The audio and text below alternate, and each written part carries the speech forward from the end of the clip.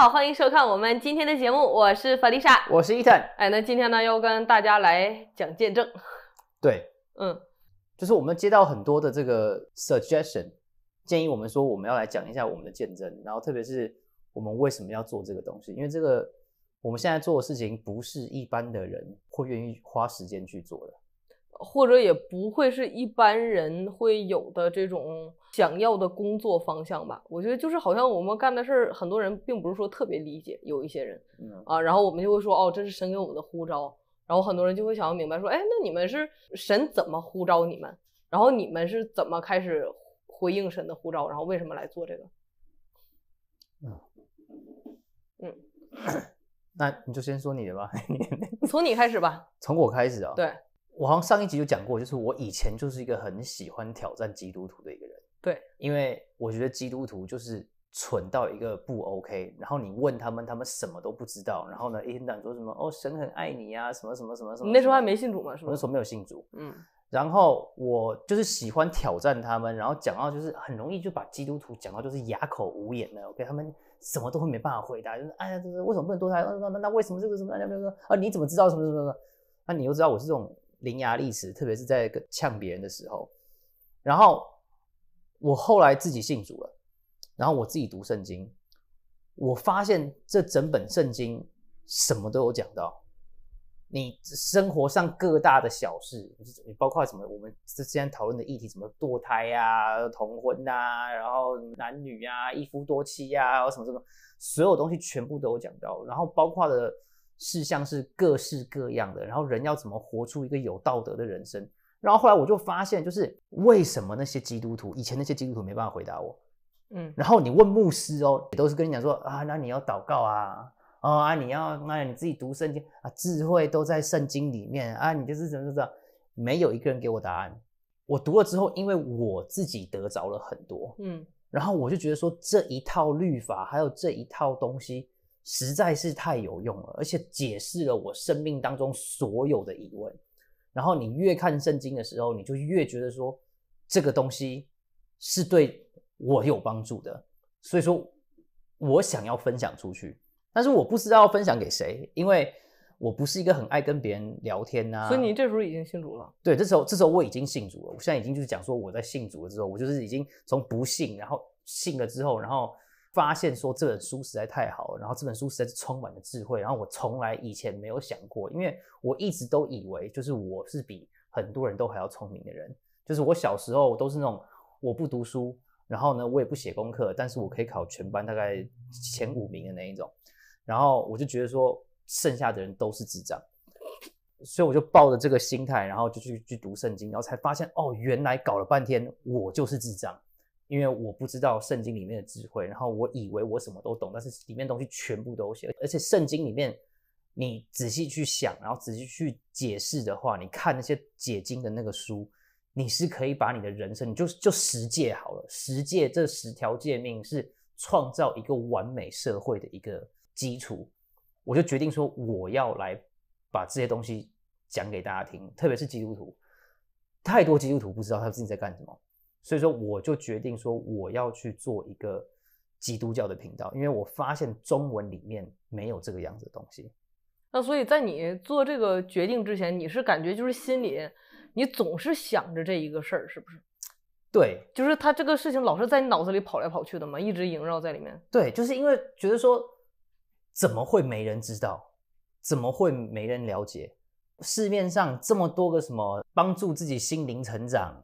然后呢，呃，职场上怎么样怎么样，什么什么这个蔡蔡康永的说话之道，然后你要怎么样怎么样，就是又不是小说，但是他好像给你一些人生的方向的这种书，对吧？对对对，一个 life improvement 的一种东西。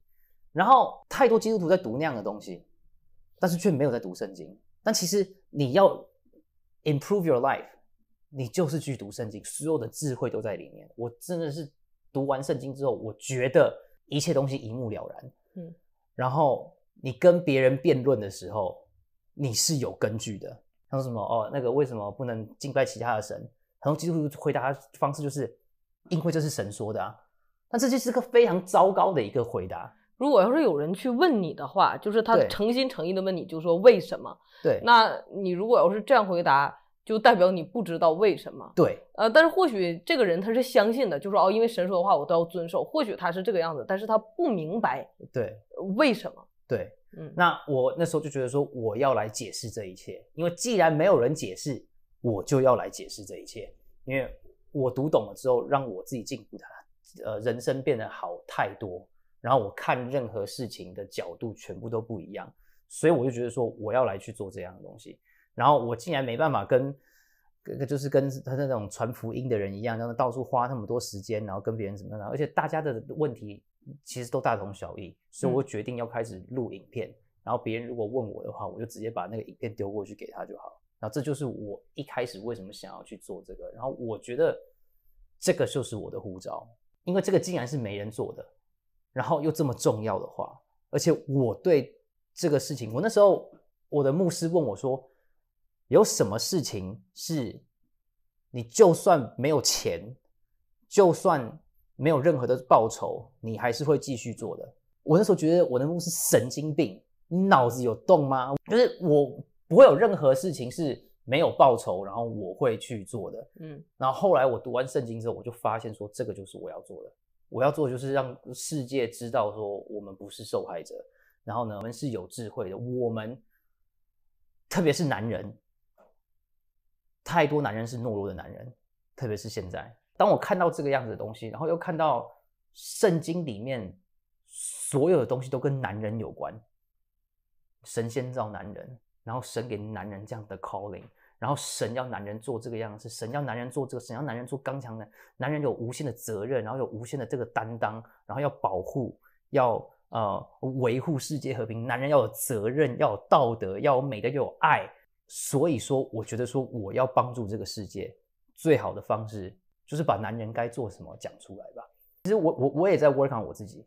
那像说之前留长头发啊，然后戴耳环啊，然后各方面的东西，我其实也是想要挑战基督教的这个体制，因为我知道很多基督徒看这个很不爽，我就是特别想要去弄给他看。就像最近大家开始说什么伊藤这样子的头头发型就对了，我就特别想要再留长，我就想要证明说我剪的头不是为了你们的那种。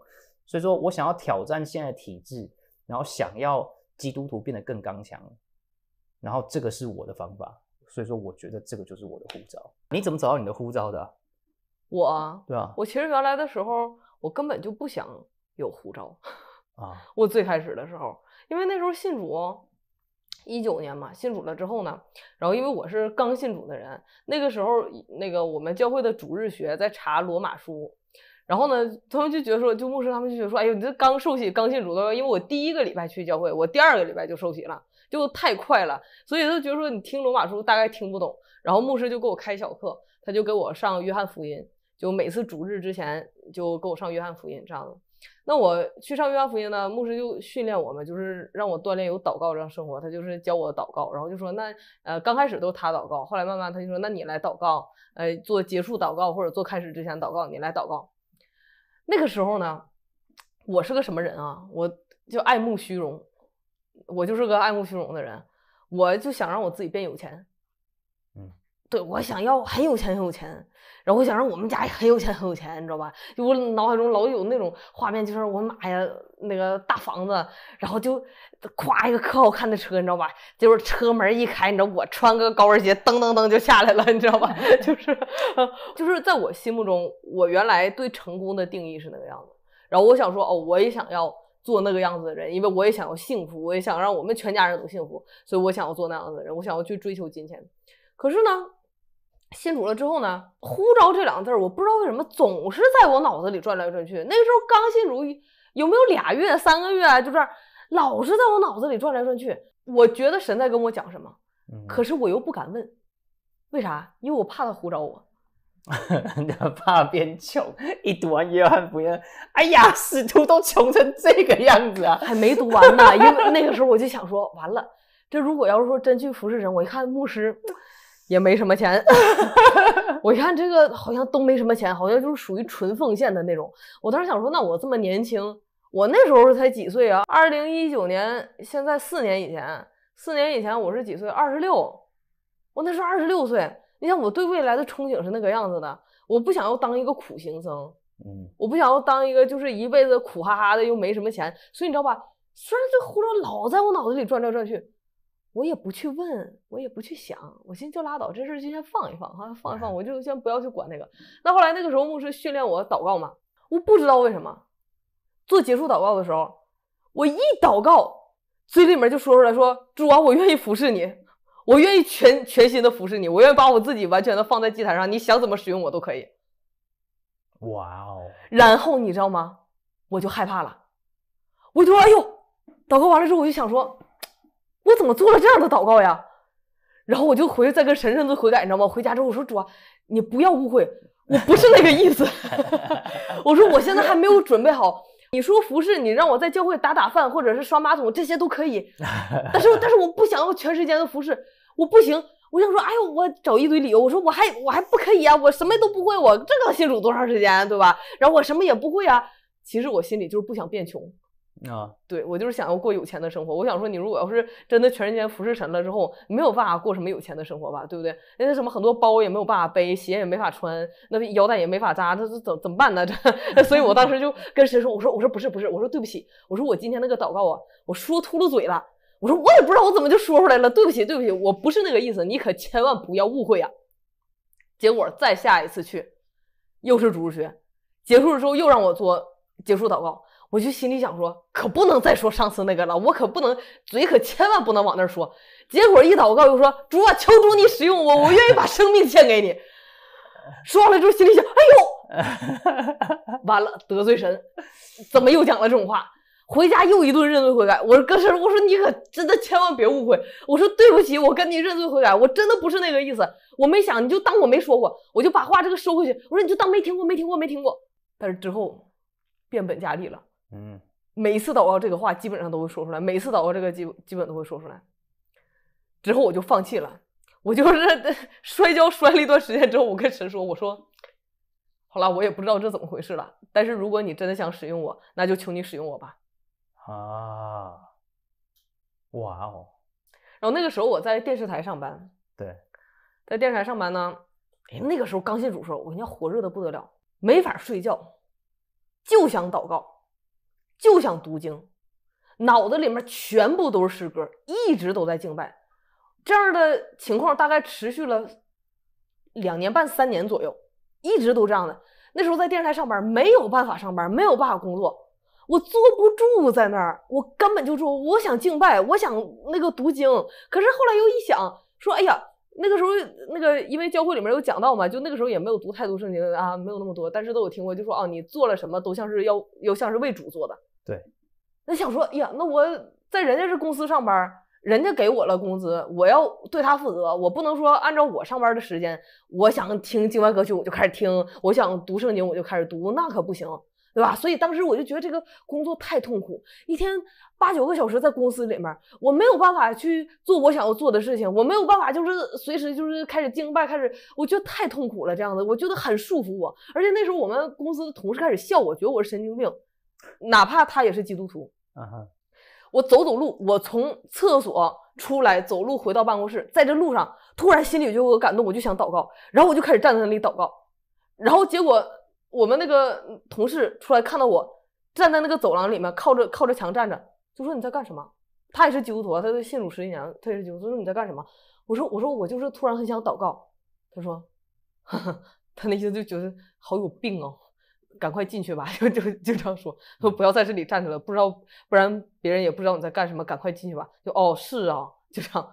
所以那个时候我就想说，我坐不住了，我我如坐针毡，然后我又开始想说。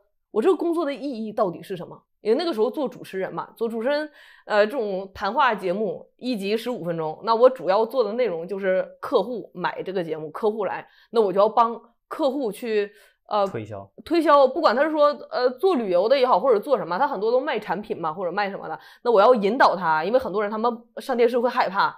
他们不敢讲话什么的，所以我要哎引导他们，我说放轻松怎么怎么样哈，我就问一些问题，然后让他们把这个东西说出来。那他们如果很紧张到一个不 OK，那这个东西还要我来说，反正就是做这一类的东西，也会做呃剪辑啊方面的这些后期的节目制作这样。当时我心里就在想，我想说，我这个工作有什么意义？就是这工作的意义在哪里？我当时就想问这个问题，我就跟神说：“我说我想做一个有意义的工作，我不想要在这里浪费我的时间。我说虽然我拿着工资，我在这儿挣着钱，可是我心里是不开心的。我觉得我是被捆绑的，我是不愿意的。我不知道要怎么能够好好的使用我的生命，我不知道我怎么好好的珍惜我的时间。我不想要就是过着以前一样的生活，我想要走你给我的护照命定的道路。嗯就是你想要我去做什么，你想要怎么用我的生命？我说我不想在这里了，主啊，你给我换个工作吧。我也经历过这个样子的东西。嗯，我那时候是基本上我就是在做我想想做的事情，我就是在听讲道。我那时候那个真的是二十四小时，有机会就在那边听。晚上睡觉是那个 Francis Chan，然后呃那个 John MacArthur，我那时候开始听，然后 Todd White，就是那嗯些、那些人的都东西，我一个一个这样的听，然后就就听不腻，然后就是说哦。里面这些东西真的是充满智慧，然后你你也你也不知道听了是干什么，对，你也不是要讲给别人听，但是你就是想要听，然后想要很饥渴，就是你不听我都感觉我活不了了，我就像一个开裂的大馒头，就 需要浇一堆水来滋润一下。呀 然后那时候读读圣经也是，就是那时候一开始的时候，我是读就是呃一天四章这个样子。嗯，那时候你就是停不下来，对，一天十这样这样哗哗哗哗哗一哗哗哗，直看一直有有有时候一卷，一卷一卷书嗯，那那时候就是这个样子。你对神的那个渴望是你没办法停下来的，对然后你会一直想要，一直想要，一直想要。因为那时候我是跟神有一个约定，就是说，呃，你你叫我去做什么，只要是教会叫我去做的事情，我都去。我只是让我要我就是要认识你。其实我不是这样讲，我是说，如果你是真的的话，OK，你就在这短短时间内证明给我看。然后我就听你的，你你如果你就派你的仆人来，OK，邀我去任何地方我就去。那他们什么什么清仓库啊那些东西，我我我都去，对、啊，就在清仓库的时候，我就圣灵充满，呀、就是清仓库的时候，对清仓库这的时候很很特别。我就在那个地方，在那边，我去那个地方，然后那是我是第一次跟那个 Impact 的那个主任牧师 Jack Lee 讲话，他就说 How's life？然后我说啊，Life sucks。然后他说 Without a purpose，Without a purpose。然后我还说你是神经病，purpose 你个头，OK？然后他就说 Life sucks without a purpose。然后我就哦哇，Mr. Purpose。OK，好，那反反正之后我就在那个讲台那个地方，他那边放那个敬拜歌曲，然后仓库我好像也没有好好清，我就坐在那个地方，然后我就坐下来问，就是这样，What is the purpose? What is my purpose? 我就那边掉眼泪，哗啦哗啦一直那边哭。然后那时候你就是好想要神，好想要神，你好想要，好想要，好想要，好想要。然后你就觉得说，我的生活为什么是这个样子？我工工作这么努力是为了什么？你说赚到钱的吗？好像也没有那个赚到钱，你也不知道要拿来干嘛。你该有的东西都有了，你也有车子，你也你反正就是你也什么都不缺，然后你就缺一个家庭，你缺的是什么？你缺的是爱。其实真的就是这个样子，每一个人都在寻找爱，然后你在寻找爱的过程当中，你就会听到这些东西，然后你就会变得很充满，你就会变得很开心，然后你在听那个 sermon 的过程当中，你会得到爱，然后你就更了解你自己，然后同时也更了解神。嗯，我觉得那个时候对我来讲，我的经历是那个样子。对，因为我第一次去教会的时候，我以前也是特别讨厌基督徒了，因为我有些同事也是基督徒嘛，然后总是或者去各种场合，总是有人跑来跟我传福音，然后他们都讲一大堆的见证，但是我没有什么感觉，关我我屁事！对，我我就觉得就是关我什么事啊？然后他就讲就讲很多神迹奇事啊等等的，然后我就我就会配合，我就说哦哇哦，真的啊，然后什么一转身像神经病，然后呃就会这样的。那我也去呃挑战基督徒一些问题，就是创世纪里面的一些问题，我也去问他们，但是他们也都没有办法回答我。后来我又听到说基督教里面要人什么十一奉献，我就更断定说这是一个邪教，因为他要人钱嘛哈。然后我就会特别讨厌基督教。可是当我走进教会，我第一次去教会的时候，也是就是那一天是棕榈主日 （Palm Sunday），然后我在去之前，其实我心里已经做好了一个打算，因为那个时候是我外公得癌症快去世了。然后我的同事就邀我去教会，他说你要不要来教会，让牧师给你呃外公做一个呃祝福祷告，就他人不在这里没关系啊，就给做一个祝福祷告。然后我当时想说，那我作为一个小孩，对吧？我我也没有什么办法能够去帮我外公，就这已经不是钱的问题了。我想说，那就是这些事儿，那我就去跑一下吧。所以我礼拜天早上就特别早起，然后跑到教会去。那去之前，我心里就已经做好。决定，我想说，我不要给教会这些人笑脸，因为我知道他们像传销组织一样，一旦沾上了很难甩掉的。我当时想说，就是我去了之后，我要让他们明白，就是 OK，我是受过高等教育的人，我跟你们不一样。我想说 OK，或许这些人连小学都没有毕业，你看我多骄傲，我心里真是这么想的。当时，天哪，这么丢人的事干，但我心里当时真是这么想的。我说，就是你们这些。好了，我就说了，你们最高学历大专，OK，我当时这么想，然后我想说不要给他们任何的好脸，因为一沾上就甩不掉。我说我就是让他明白，我是新世纪的青年，我是受过高等教育的青年，我跟你们不一样。然后我以后也再也不会来这个地方，今天只是来一下下而已，不要想着给我传教，再见，我们就不是一路人。我想说，我对你们远远的保持礼貌，你们也远远的对我保持礼貌，不要过来。跟我传教，我我不要信，我就是抱着这样非常坚定的信念，我就去了。到了教会厅上，我还想着说，我要坚定我的信念哈，就千万别笑，就别给这些人好脸儿，就是远远的冷冷的就，哎，就这样，给他打个招呼就好啊，就这样。所以我那天就去了，结果一进去就不得了了，一进去不得了了，就牧师在讲道，那天他讲的每一个字全都进去了，嗯，而且我坐在那里，我就。很惊讶，我说天哪，这个人他在讲的这个道理，我怎么从来都没有听过？嗯，因为我看过很多书，然后我也去研究哲学那些东西，我一直都想知道真理是什么。我一直以为真理是哲学，但是我后来那天一听，我想说，呀，他讲这个东西从来没有人跟我讲过，思考的这个方式还有逻辑，从来我没有在别的地方听到过。我说他讲的这个到底是什么？我就在那很认真的听，又给人带来盼望，然后又是这么坚定的一个基础，就是你一听你就知道这个东西绝对就是对的。我说我爸怎么没跟我说过？没有人跟我讲过，书本里也没讲过，老师也没讲过。我在网上看那些东西，没有一个东西讲过这个。我说这是什么？给我就是一个大震惊。那天就感觉脑子里面像爆炸一样。结果那天敬拜歌曲有一首歌就一粒麦子，嗯。一直在我脑子里面转，从那之后转了好几个月。呼召如此崇高，那个时候神就对我讲话，但是我是后来才知道，那个时候不明白。所以在那天我就感觉到很感动，很感动。后来结束了之后，说谁要被祷告服侍，就到前面来。然后他们就说啊，说这有个新朋友，他外公怎么怎么样，就祷告。啊，牧师给我祷告，我就整个就在那边哭，因为我感觉我找到家了。哦，哇哦。我当时感觉不是为我外公哭，我不是为了别哭，我当时心里想说，我找到家了，就是感觉说我回家了，就是我终于回家了这种感觉。所以就在这个礼拜，第二个礼拜就是复活节，礼拜二那这个这是礼拜天嘛，礼拜二那天他们邀我说要不要来小组，我说好，我就去了。去了之后他们就问我说说，呃要不要受洗啊？因为主日的话是复活节嘛，就大家攒一批就一起受洗。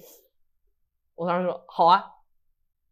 然后就很开心的呃答应了，但是在这之前呢，就是我要受洗之前的前几个礼拜，就我还没去教会的时候，那个时候就说教会都有谁受洗嘛，然后牧师就算了算，就说哦，一共有这些人受洗。圣灵那时候跟他说还有一个，然后他说怎么会还有一个谁呀？一看教会里面剩下人基本上都受洗了，大概就说还有是谁呢？所以他就一直祷告说还有谁？结果在受洗的前一个礼拜，我突然跳出来，哦哇哦啊，然后他就知道哦，说原来圣灵说那个人就是我。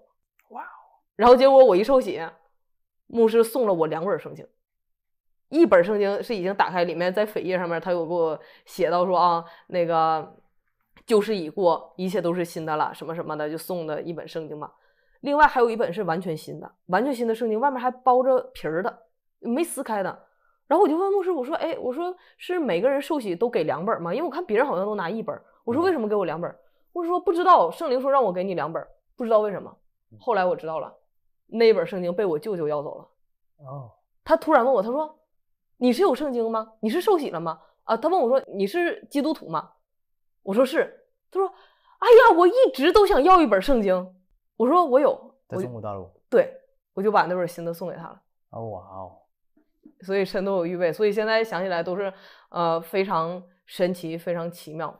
呀，那所以就是到我们这个施工，其实其实也是比较神奇的一件事情，因为那个时候我不是跟神说，我说，呃，我想换一个工作嘛，你给我换一个工作。那我这样祷告祷告了大概一年多之后，也就是说，其实我开始在 AI News 服饰，是我信主一年多以后的某一天开始在这里服饰。那个时候我跟神祷告，我说要给我换一个工作嘛，结果这个时候。就有个人来找我，他就说哦，就是在这边说有一个施工，呃，这个要找人，说你要不要去面试去看一看。后来我才知道，原来你也去过，嗯，但是那个地方不是神要我们去的地方。对，因为当时我的心里也非常不平安。然后去面试的话，他也有去面试过，后来我们才聊起来才知道，结果也都没有成功。但是神就把我们带到这个地方。然后我们就开始 AI News 复试，然后那个机构后来还跟那个里面的人讲说，哎，你看那个末世先锋那两个人多好啊，为什么你找不到那两个人呢？就那个介绍就说那两个人都来面试过，而且还都录过影，然后你都没要自己不要的呀 呀，反正我觉得在我们看神对我们的呼召的时候，常常你自己很清楚要你要为神工作的时候。你的呼召就会出现，而且这呼召出现的时候，真的心里是很清楚，就是对你脑袋里面一直都是这个东西，对，挥之不去。而且那个时候心里点的那个火，对，那火就哇烧的我，真是烧的我流眼泪呀，就一直流泪，一直流泪，一直流泪，非常清楚的。神跟你讲什么东西？对啊，而且我必须说啊，我这一辈子工作没有这么努，没有这么努力过。我在任何一个公司上班，然后呢，我在我那时候不管当多大的主管，然后还是那个。那种都帮别人工作是能偷懒就偷懒，OK？我们现在做的事情，每次一到假日的时候，然后呢这个地方关掉，然后呢不上班的时候，我们两个就是在那边说说，哎呀，星期一节目还是要出啊，对不对？不能让观众没有东西看啊。我们就是这这个地方就排排排排排，然后是把东西全部挤在一起，然后一定要把节目拍出来。然后我觉得这个就是你对于呼召，你在。做你想做事，你跟神一起同工的时候，你可以很确定，你不会觉得累，你也不会觉得钱太少，你也不会觉得说我现在做是为了什么，你就是会每一天非常开心的去做每一件事情。我以前呢，嗯，就是差不多到了。两点吃完饭了之后呢，就开始看着时钟，OK，然后四四点五等下班吗？对，我也是，我等着一下班赶快拿包跑。对，那现在不一样，现在我们常常就觉得时间永远不够用，然后你永远做的事情，你就是你想要花更多的时间，想要花更多的精力，然后去做你现在在做的事情，因为你知道这个是神的呼召，所以说我觉得。像说很多教会会很多还还有很多团团契呀，会讲到什么那个童工 burn out，就是说事情太多，然后应付不了，然后心里没有办法那个就很难过。燃尽吗？还是什么？中文有这个词吗？burn out，反正就说负担太大吧，就大概是这个意思，就说受不了，就事情太多，然后心里没有办法。职业倦怠，可能比那个倦怠还要再严重一些吧。哦，就会抓狂。对，职业俩工，呃，对，职业俩工。呀，那对我来讲，就是你如果这个是你的呼召的话，你不可能职业倦怠，你不可能觉得说我不想要去做，因为太喜乐了。对，而且就是方向非常明确，然后你会知道有很多事情要等着做。现在就是唯一会比较担心的就是说我做的。神是否满意？然后我是否按照神的心意去做什么？等等等等。而且我告诉各位，当你的呼召到的时候，你真的会觉得说，你付出的东西永远都没有你得到的东西更多。嗯，真的，你真的会随时都觉得满足。我每天在家有有有说不完的话，然后有说不完的想法，我跟你有说不完的这个东西，然后我们每一天在讲的这个东西，其实不只是对各位有帮助，其实。对最有帮助的是我们，就像我我每次在节目上面讲说，你要去做，你要去做，你要去做，你才可以得到更多。你为什么要去做？因为你想得到更多，因为你更想跟神服侍。所以说，对我来讲这是呼召吧，也没人告诉我呼召是什么东西。然后我对于最接近呼召的，就是我就是那个《Hacksaw Ridge》那个电影，那个电影那时候我还不信，我我还没有当基督徒，还没有受洗，然后。我就去看了那个部电影，然后那个电影的时候，就是那个主角在那个山崖上面那个地方，然后全部就是全部枪林弹雨，然后呢，他这边的人受伤，那边的人受伤，而且所有人都撤退了。对，然后他没有枪，然后他就在那边问说：“我该怎么办？我该怎么办？我现在要干嘛？我现在要干嘛？我现在要干嘛？”然后他很害怕，然后他就一看大家都在那边受伤，然后他就知道说：“我现在要去救人。”对，我觉得很多时候呼召就是这个样子。你不是说什么哦，神跟你说你现在要去救人，还是什么东西？或许你很幸运，你可以有这种 audio 的这个东西。对，要不然他就是给你放一个非常明确的心思意念，对，他就是勾起你那个，你就是必须要去做，而且你很坚定，你明明就是要知道，你不做你会不爽，会会受不了，心里对受不了，对啊，就会去不顾一切的去做吧。对对啊，所以我现在也没有那种什么那个豪车梦了，什么像以前那样什么穿个高跟鞋咔咔一下车那种。我这我现在大概对对这方面，就我不认为那个是我想要去追求的生活。对啊。嗯，像上次讲说他每次看完我们新闻，他很难过的时候，我真的就是觉得说，因为你没有在你的护照上面，因为你好想做什么，你好想要为神的国度，为了你的社区，为了你自己的人生做些什么，但是你没有去做的时候，你开始逃避你的呼召的时候，你是会非常非常难过，你过得会很痛苦的，你会开始避着去教会，不想要看这个，不想要看这个，为什么？因为你不想要再有更多的压力了。当神告诉你说你一定要去，你一定要去，你想想看，那时候神跟约拿说你要去尼尼微城的时候，那个就是约拿的呼召，他有多不爽啊？Why? Why me? Why? 我宁愿被鲸鱼吞，我也不要去。但是你就是一定要去做，你一定要去做。你做了之后，你会更感谢神，然后你会跟神走得更近。对，所以我觉得承接呼召是一个非常重要的事情，就是不要去逃避。因为就像你说的，就是神既然让人有这样的看见，就是我们的观众现在很多都有这样的看见，对吧？神开启我们，让我们有这样的看见，让我们看到现在世代有这样的需要，他把这样一个负担放在你的心里，这个负担是需要有一个突破口的。就你不能看见了这，你说你没看见也就算了，对吧？你没看见，你就说啊，世界好美好，好 棒啊！我今天吃面条，明天吃饺子，哎，这对吧？那神赐福给我，你没看见也就算了，那神让你看见，他就是要你去做什么，不然的话他不会给你这样的看见。他给你看见要你去做什么的时候呢，你这个时候的方向就是应该跟神祷告说，那请问你要我去做什么？你给我的呼召是什么？求你清楚的告诉我。如果你要是没有的话，那就像很多人，他就会 burn out，他他受不了，他他会看到的一切都是负面的东西，就说这世界太黑暗了，为什么教会这个样子？为什么牧师这个样子啊？今天我们教会哪个基督徒又跟我说什么了？天呐，好笨呐！他们怎么可以这样子？就是你所有有的都是负面的情绪，然后你这个负面情绪不会让你越变越好，不会让你越来越靠近神，反而会让你引来很多对神的埋怨。对你就会说，为什么这样？嗯，为什么要这样？呃，就是等等等等，把你引到一个不对的这样一个轨道上面。但其实神要你看到这些，或者是要你经历这些，目的是有一个目的的，就是他要你去做一些什么。嗯，你看到了，你可以理解，你可以明白，你心里有这样一个负担。那神就说，你现在去做什么什么？比如说，你要去开始关注你们学呃你们附近的学区，你要去校董会，你要去什么什么，非常细节的一些东西，你去做。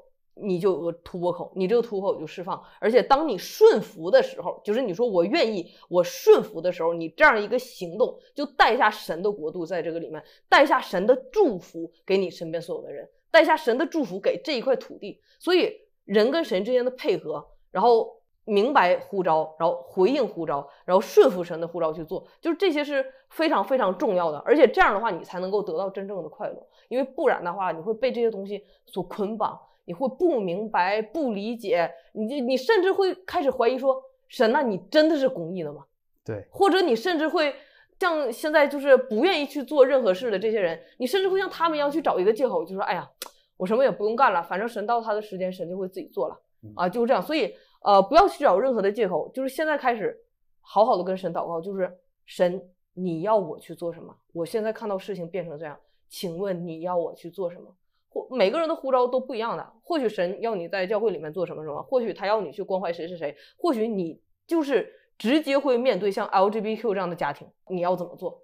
所有的一切都要问神说我的呼召是什么，然后你要给出一个回应的一个响应的动作。那么在你承接呼召的这个呃过程当中，并不会是完全一帆风顺的嗯。但是要明白一点，就是说，一切你遭遇的都是神为了你的益处，为了让你成长放在那里的。你就像我们的施工，也并不是说呃一直都像世界人以为的一路风顺，你呃一帆风顺。你说我们是不是一帆风顺？是因为有神的保护，所以我们的确一帆风顺。但很多世界人的一帆风顺说啊，我们有很多钱，我们什么事儿也不要有，什么什么，这种是对世界的人来讲的一帆风顺。但是在主里的一帆风顺是我们有风浪，但是我们不害怕，因为我们知道耶稣跟我们在船上，嗯我们知道靠着他的力量，靠着他的帮助，我们可以跨过一切的困难。嗯所以困难都不是困难，只要坚持坚守神给的呼召，这就是你一生中最棒的，而且是你走上最荣耀的神的命令。你想想，当你到神面前交账那一天，神说：“来，我们看一下这辈子你都干了什么。”哇，你一看，这是多么美好的一幅图画，是不是？你看，就像那个约翰，施洗约翰，如果跟神见面的时候，神让他看到他在旷野的时候去吃野蜜，对吧？然后穿着骆驼毛衣服，没吃没喝，但是他在那里喊说：“呃，传天国悔改的道。”你说他是否是有成就感的？他是否会觉得说：“天哪，这是我在地上的时候我带下的一个多么美好的一个跟神一起同工的果效？”而且这个东西，我说真的，我们在这边可以讲天花乱坠，然后我可以把我们的经验全部，这只是我们的经验而已，是你没办法真正感觉到，你只有你亲自的去试试看，你只有亲自的跟祷告说，我那时候祷告很没有礼貌的，OK，神呐、如果你存在的话，就放个响屁让我听听看，真的我很没礼貌。对我是这样子这样子去祷告的，所以说不要跟我一样这样祷告，对，但是你真的要踏出去，你真的要去跟神去做那第一步。有太多的人说，等我有钱了之后，我再去做什么事情；等我的房子可以付清到什么程度了之后，我再去做什么事情；等我在教会里面做到什么样的这个职位了之后，我再去做什么样的事情。就像郑立新牧师，教会里面当青年牧师，就是啊当当当当当当，但是他心中就是有一个吹号者的一个这个心态在这个地方，然后神就让他的眼睛出问题，然后他就知道说天哪，神在跟我说，我如果再不出来吹号的话，如果我这个吹号者不出来吹号的话，我可能以后就是瞎子吹号了。所以说，他就说，他就说，那我现在要这样，我现在就去开开始开始吹号，然后他就在 COVID 那个时候就开始做了吹号者的那个施工，然后就一直到现在这个样子。所以说，然后他是多快乐，你每次看到他，他是个多么快乐的一件事情。就是你看他不管行程多满，然后他多累，他都是那么那么的快乐。对然后结果你看他顺服神的呼召之后，他做出这样一个顺服的动作之后，你看神为他开的道路。现在越来越多的教会，很多的大教会都去邀请他，因为大家看到说哦。这个人在吹号，而且他说的东西是重要的。啊，所以在这里说，如果大家要是想要邀请郑立新牧师，我不要害怕去邀请他，他很愿意，他很愿意去邀请的。不管你们教会多少人，他也愿意去讲。如果有牧者联盟，就是不管你们是什么组织、什么机构了，他都会愿意去啊。那你们大家可以直接去吹号者的事工那边去联络他。如果你们要是哎找不到他，感觉找他很困难，你们找我也行，我们可以转达。那样，反正就是你，你亲自的去跟神一起同工，你亲自的去走这条道路，你不要害怕，你真的是把你自己就丢在那个地方，然后试试看说，这个是不是神要给你的，然后你在里面得到喜悦，你在里面得到平安，你在里面找到你自己人生的活着的目的的时候，你就可以非常的清楚，那个就是你的呼召，而且当你找到你的呼召的时候，你绝对会很清楚，你绝对是就是说，OK。这个事情就是那时候 Jack 跟我说的，就算免费，就算没有任何的报酬，你也会继续做，而且是一个 biblical 的一件事情，嗯不是说那种放荡自己，就是什么哦吸毒啊，就算免费我也会继续吸，不是这种东西，是你会为了正义而战，你会为了真理而战，你 fight for truth，fight for justice，每一个男人都是这个样子，每一个男人都是想要去朝着这个方向走。每一个男人在他小时候的时候，都是拿个筷子，然后说：“哦，这个是屠龙刀，然后我要去打败这个世界上邪恶的这些人。”每一个人看小时候的卡通的时候，都觉得说：“我就是那个王子，我就是那个诸葛四郎，还有什么什么什么之类的。”对，就是你的呼召是什么？其实就是当一个战士，然后是神的战士。那你除非你当神的战士，不然你这一辈子没办法得到快乐。当你成为神的战士的时候，当你开始跟神一起工作的时候，你会快乐到一个不 OK。然后这个东西是任何人说都没有用，任何人说，哎，你可以去做什么东西，在像说很多教会会说什么，哦，我们小教会很多年轻人啊，对不对？他也是学电影，也会拍摄啊，对不对？啊，AI News 那个不错嘛，啊，你你们两你们你们几个就凑一对，你们也去做这样的事情。教会没办法给你你的护照，只有你自己跟神一起同工，你才可以找到自己的护照。这是我对于护照的整个看法。对，然后也不要怕自己跟别人不同，不要怕自己跟别人不一样，也不要觉得自己的呼召很奇怪。没有什么奇怪的，嗯，不要害怕别人的眼光，你就去做神要你做的事情。如果说神要你专注在 human trafficking 啊，就比如说儿童贩卖这件事情，你就去做。如果神要让你走一条别人没走过的道路，甚至别人觉得说哈，干嘛要去做这个，你不要管别人说什么，你不要管他们问说，哎，你到底有钱没钱呢？你还 OK 吗？你你最近还好吗？不要。害怕其他人任何的怀疑的眼光，或者是呃他们向你说话的语气，不管是礼貌不礼貌，你不一样。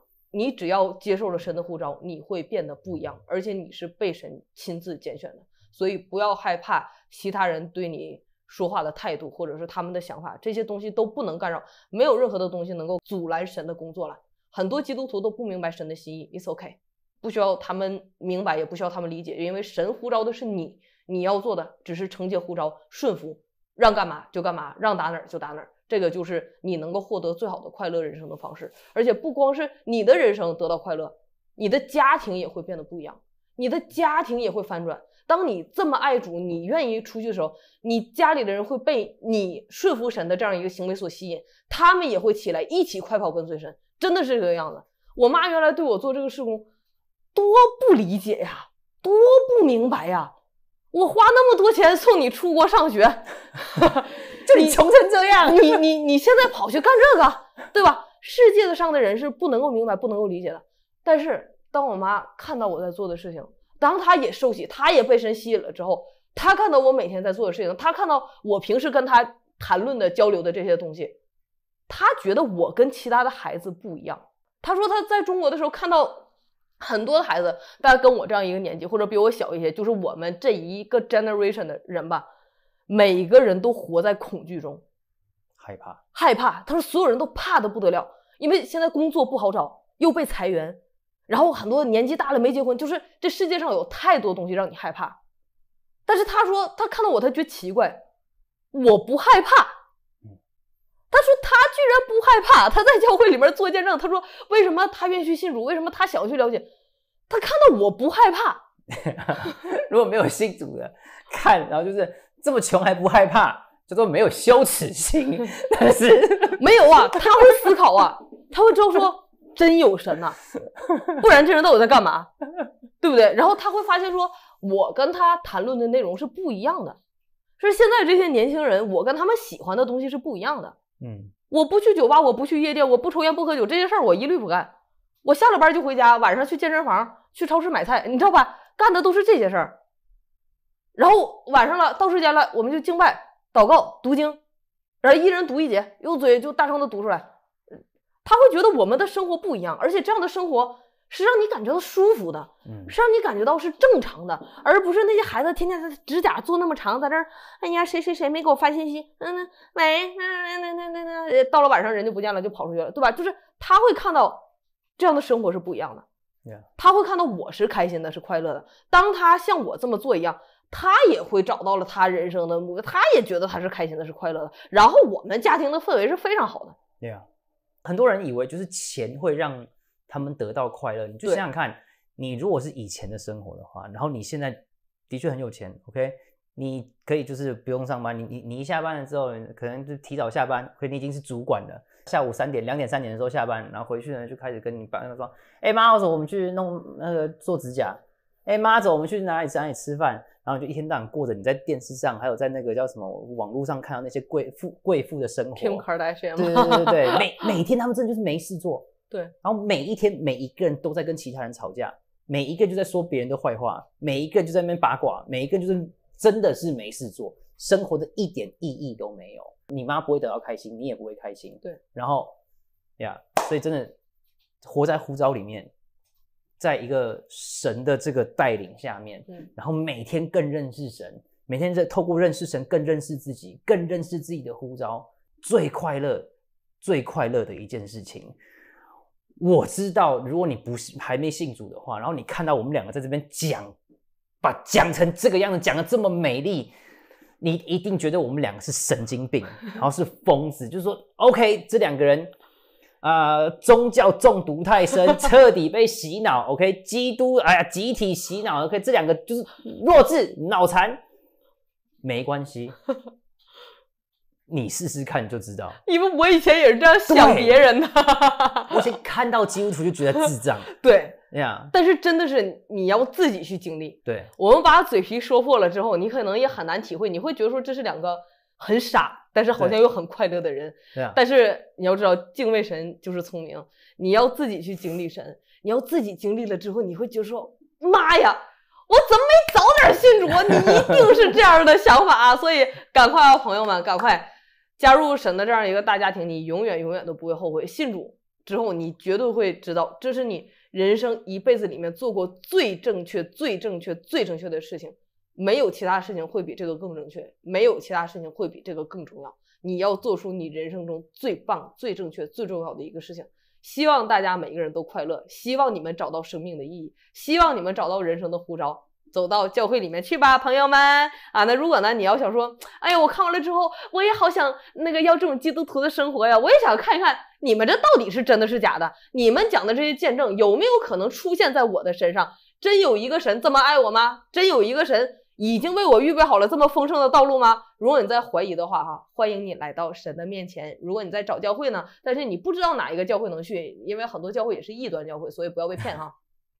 你如果要是不知道哪个教会能去，但是你又想去，请跟我们联络。你可以发 email 给我们，或者在下面给我们留言，说出你的呃地理位置，我们就哎可有很多朋友们可以很多牧者，我们可以到处打听，不管你在哪个国家。我相信这个很很多人都是有连接，我们问都是可以给你问到，就是给你找到一个属灵的家，一个你可以去的家呀。呀，大家真的是试试看，把自己的生命交给神，嗯你不会后悔。你会后悔没早点儿。对 对，你会后悔，你那时候你你到时候就真的就是你过得再苦，你也是开心的，而且你不会觉得苦。不苦，对，很多人会觉得说我们现在赚的钱很少，好可怜哦，对什么什么什么，但是真的是足够的，而且让我们随时随地都感谢神，我们随时每一个月薪水可以付得出来，我们真是感谢主，OK。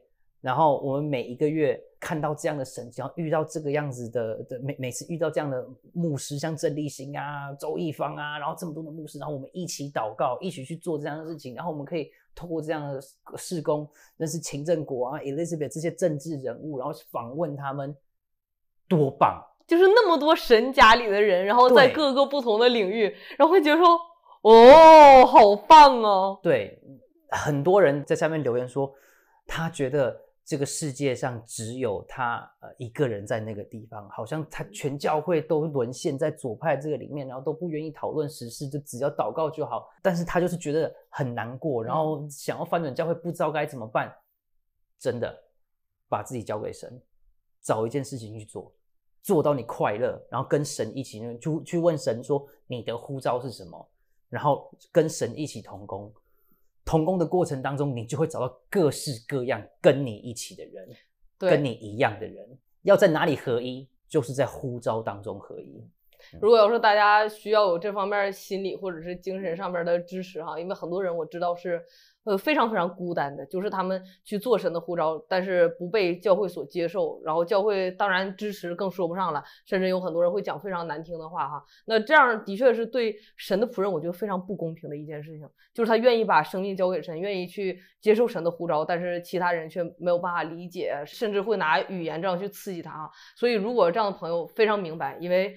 当然，大家都希望身边有可以互相支持的人。欢迎你加入到我们 Discord 的聊天群啊！你加入到我们 Discord 聊天群，因为虽然我们身体不在同一个地方，但是我们都是神的教会，我们可以通过这样一个平台，我们大家一起来交流，然后我们可以一起来祷告。如果你有任何的问题，欢迎在里面吐槽，对我们都可以互相来帮助，对，互相来勉励。如果或者是你碰到生活中碰到任何的问题，你觉得如果按照圣经的价值观，应该如何去看待或者如何去处理，我们都可以在群里面聊天，因为我们都是神的肢体，我们都是好朋友，我们希望可以有一个彼此兼顾的社群，我们希望可以有一个大家一起交流的平台，我们希望大家可以畅所欲言的去讲，而不是说哦，为了顾及到谁谁的面子，呃，我我怕把这种事说出来，别人说我是批评论断，我们一起来交流，我觉得。